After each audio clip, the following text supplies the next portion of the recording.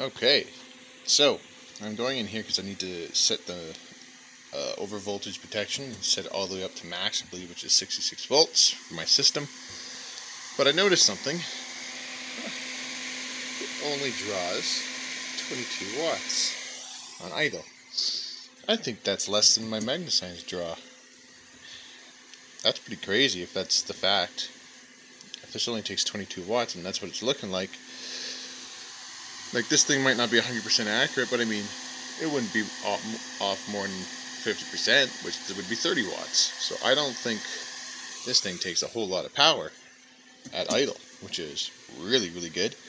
We are putting out, we are sitting at a low 44 volts. Um, so that might have something to do with it. It might take a little bit more a higher voltage, but anyways, I'm going to find the overvolt protection and turn it up. Alright, check it out guys, I got it hooked up. It's hooked up to my MagnaSine breaker panel. So this is no longer reliable. This is now a Genetry solar inverter. The 8000 reliable is no more. So I got to relabel that. And this side is the MagnaSines. So the MagnaSines is one, two, three. And this is replacing all of them right now, or just temporarily. This is going to be more or less my backup inverter. This is going to be my main inverter still. This I will be testing out for a few weeks though. Might test it out for longer than that, I don't know. Fans just started. Wow, they're actually pretty quiet. I guess they only get really loud when it's real hot. We are running 1600 watts. That's right, my whole house right now. So we got one AC unit there. I gotta get my wife to turn on the 12,000 watt in one second. Alright, so my wife's about to turn on the 12,000 BTU air conditioner. We're gonna see what it looks like on here. Should have a decent surge. And I missed it. Turned on. I ran over, it was set at 75 and I said put it down to 70 and it turned on, so it's too bad. But Everything looks like it's running just fine. The fans are ramping up and down.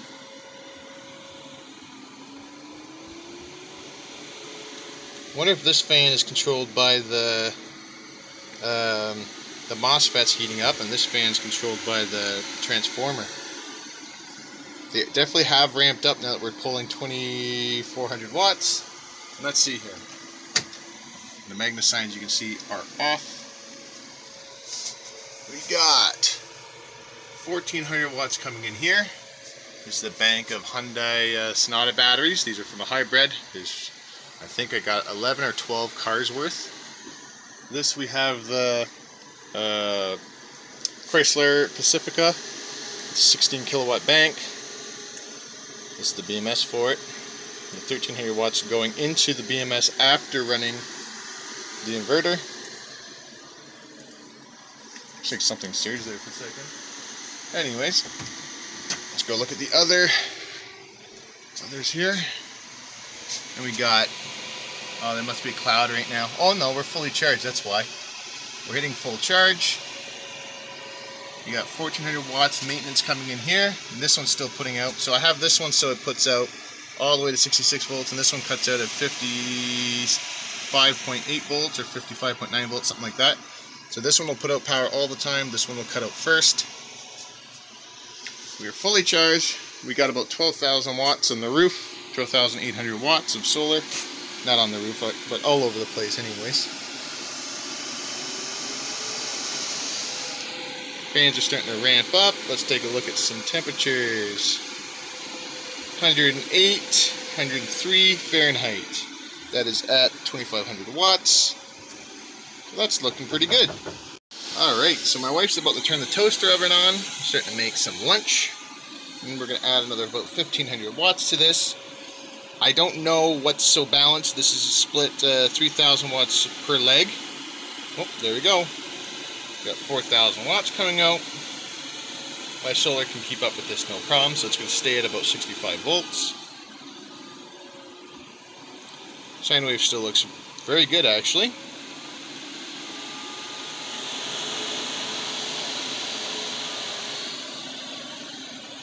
And I will show you my MagnaSine uh, sine wave after. It's very similar to this. It's looking very good. Pretty happy with this so far. 4,000 watts. We'll look at some temperatures. 114. Now, I don't know what is acceptable and what's not acceptable. 100, I think 115, 114 should be fine. Looks like it's the fans have gone into almost full. Uh, nope, they're ramping up further. I guess we're not even full on the fans yet. That's pretty good. I just want to see that it, it holds the temperature and it doesn't just keep climbing.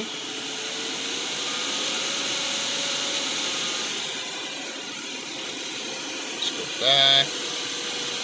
Look at the watts, still 4,000 watts, that's no problem. Now, I am running this inverter at a much higher voltage than they designed it for it does go up a higher voltage, but they said at a higher voltage that the FETs may get warmer than usual. So I, I, kept, I keep checking. So there's 117. Oh, those fans get ripping.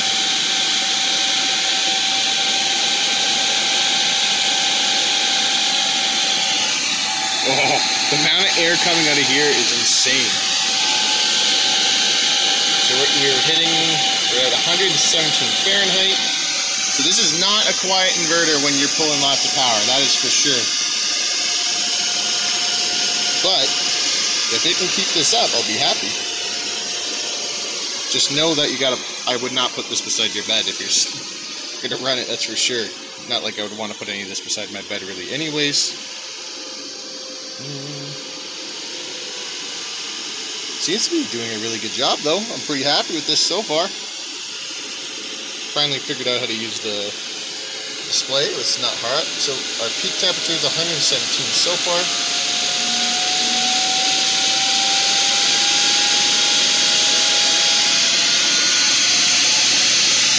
I cannot believe how much air movement these things can put. That's crazy. It looks like it really wants to try and keep it under 118 on the transformers. I guess these are MOSFETs. A, I'm not sure what that stands for, or 1, 2. Maybe motherboard, I don't know. Anyways, hope you guys enjoyed this video. I'll give you updates as we go. Alright, so my wife's about to use the central vac now. It takes a ton Central vacuum cleaner.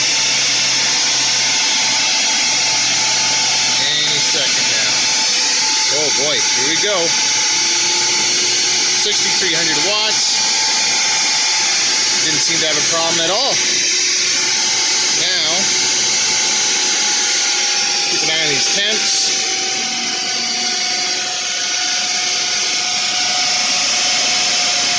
Yeah. So 120 hit per second. Seems to be doing real good. I got nice thick cables on this thing about zero gauge.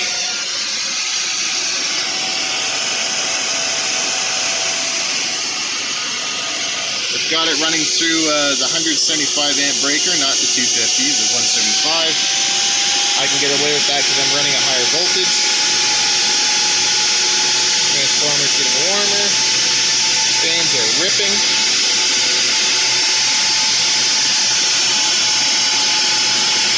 Seem to have any problems though. Sorry about all the buzzing. I do film with my phone most of the time, so I'm go get my actual camera.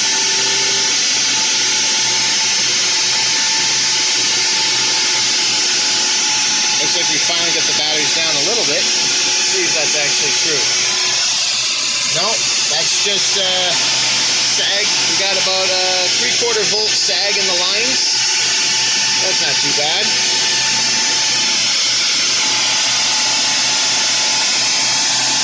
shut off in the house. Oh, the toaster oven must have shut off. Well, I'm okay with these temperatures, so I'm gonna leave this be for a while. Anyways, hope you guys enjoyed the video. I'll give you updates as I go. Well, I sure hope that this thing uh, likes the, this amount of load between 4,000 and 6,000 watts, because that's what my house does. Just does that a, that's my daily use, really.